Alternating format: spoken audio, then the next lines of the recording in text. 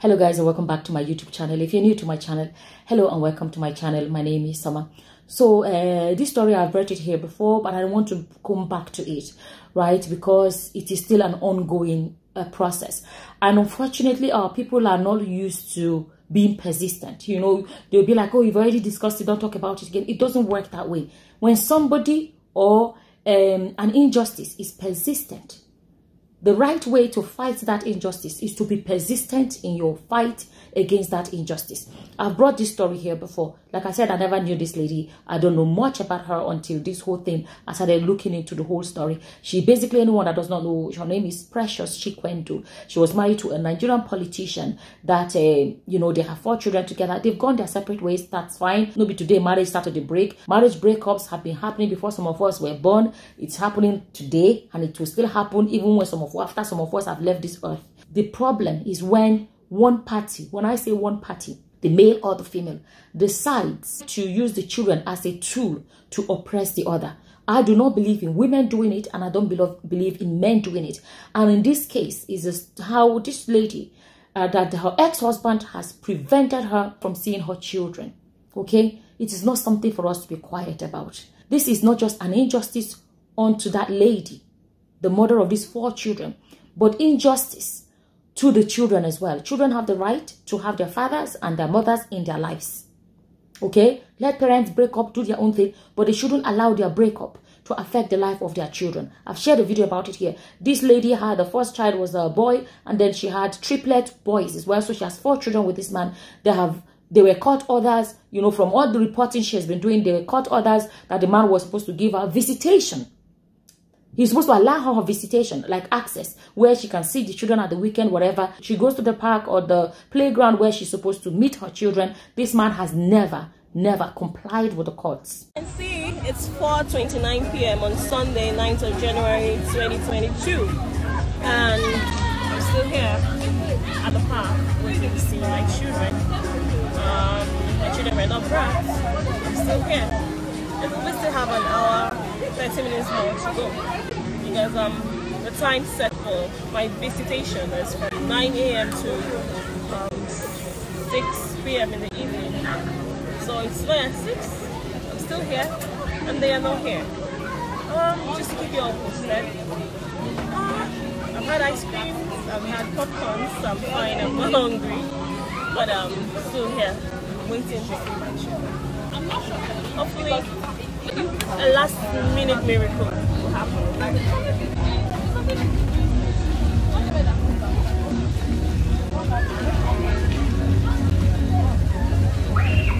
It's me again.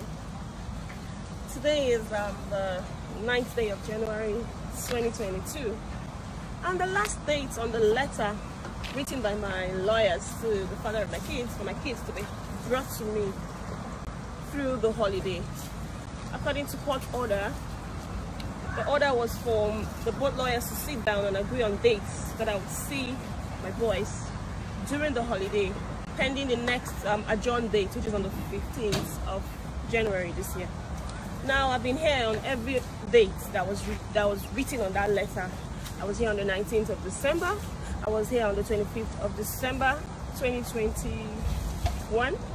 I was here on the 1st of January 2022 and I'm here now on the 9th of January 2022, which is the last date before we return back to court on the 15th.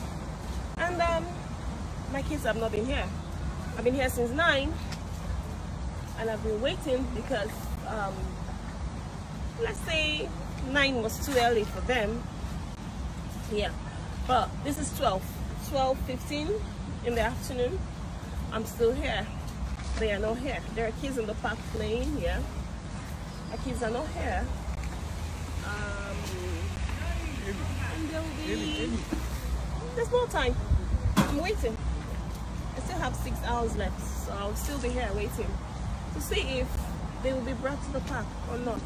I grew up in a broken home. Although my parents later came back together, but then we were already grown up and gone. But when we were younger, when my parents broke up, we were not allowed to see our mother. So I know how it feels. It hurts as a child. It actually feels like, not even like now that you can ring people on the phone or whatever. That time there were no these mobile phones. It was almost like your mother was dead because you don't see, for us, we don't see our mother. it was it was too much for us. I believe that it is an injustice on the children. I can speak as a child that went through that because I know what it feels like. Coming back to this so-called politician and going back to the story of Nigeria and injustice. You know, when sometimes when we speak, one thing I like about this story is that this guy is not a pastor. Because if he was a pastor, I can bet you that some people will say, why do you talk about pastors? Pastors cannot be touched. That is one good thing I like about this particular story. So this man, his injustice against this woman and her children is wrong. And they should be more speaking up. There's actually a petition now people are signing. What they would achieve with that petition, I don't know. I would put a link to the petition so that more people can sign. I think at the moment there are over 35,000 you know, petitions. Um, there about oh, 32,000. This petition would help African women who have been denied a right. I would have said men and women, you know, because it happens both ways. You know, so women sometimes use children as a tool to punish their ex, you know, when the marriage ends. This petition would help African women who have been denied a right to their children because they were married to or cohabited with a person of power. This petition would put an end to bullying and oppression from political spouses who have the power and means to oppress and frustrate. That is what, you know, uh, let me say this. I hate injustice. I like, I really hate injustice. I, I can't explain how much I hate it. And when you see a lot of these topics that I get involved in and I sound passionate, even though I don't know these people, it's because of how much I hate injustice. For political spouses who have the power and means to oppress and frustrate their partners out of the lives of, of their growing children, who need the love and care of their of both parents. Uh, precious, I like that they included that both parents, not one parent, both parents. I really wanted to come here and use my platform. I know I've talked about it before, but I want to use my platform to address it again. I'll put a link, guys. Please sign the petition. A lot of our people are just, I don't know, because you see Nigerians will see an oppression by someone in power. A landlord is in power because he is the landlord and you're the tenant. Do You know, when there is that uh, unequal powers between people. Um, what is it called? Politician is in power.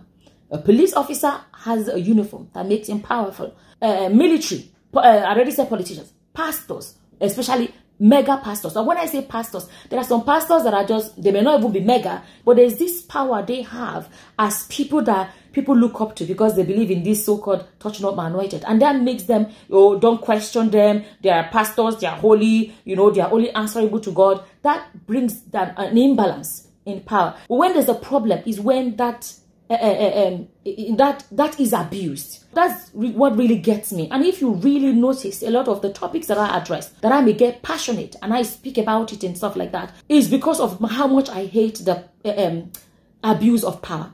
It drives me nuts. Even when it comes to like a society where they place men above women, just simply because you were born as a man and you're born as all of those inequalities. And there's some videos where some people will say ah why are you taking it personal? Uh, uh, or things like oh why are you grieving more than the bereaved? Whatever. It is how much i hate personally how much i personally hate injustice. When i look at this story of this uh, ffk and this precious Chikwendu I'm, I'm annoyed by it because it's wrong. It is wrong because how can the court say she has to see her children yet till date it has not been it has not been enforced is that not injustice? Simply because he is a politician or he has the money or the connections. I'm going to say it again. Please don't forget to sign this petition. If I forget to put it in the description box, remind me to share the link so like everybody can sign this. But I want to say this. Those that would hear you talk about a particular topic and say, why are you talking about it again? Already discussed it. Say something else.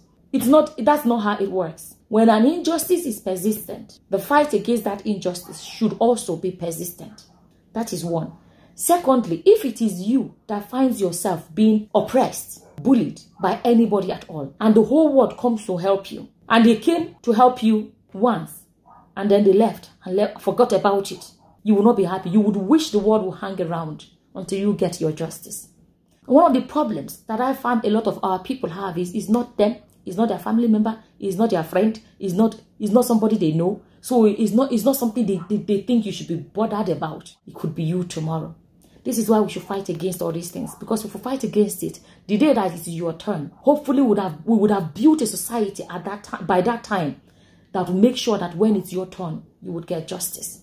You see that mentality of you know when some people say ah eh, but it's, it's not why is it your business? It's not your business now. Why are you crying more than the bereaved? Whatever. I feel, I personally feel other people's pain. Just like I would love somebody else to feel injustice that's perpetrated against me, injustice against me, bullying that I experience, as much as that. But unfortunately, you know, if you see Western society, there can be one story of injustice. You will see people that will carry it on their head. They will not stop. They will make sure the press cover it. They will make sure they will even go and make posters. They will go from here to there, sharing it, justice for etc. Our people are not very quick at things like that. But until it happens to them before they will understand it, don't wait until it happen to you. It happens to you. Let's all be part of building a better society now, so that God forbid the day it happens to you or somebody that you care about. Hopefully, our society is already fixed that you can benefit from that fix. Look at this story of these children without their mother's love. Their mother is alive, not that she's dead. Their mother is alive. Yes, they cannot have their mother's love. I'm not saying fathers cannot love their children. A father's love is on its own. A mother's love is on its own. A child is entitled to all of them. Even if you don't feel anything for precious Chikwendu, at least feel for those innocent children. This man is going to be employing nannies. Today, he will change nannies tomorrow. He will be changing nannies now because sometimes they will change nannies today you will employ new ones tomorrow. Four young children. This man is a politician. So definitely, I doubt that he's a hands-on father. Most politicians are traveling up and down. They're hardly ever around. So the role their mother is going to play in their life, those children have been deprived. If you don't call that injustice, I don't know what that is.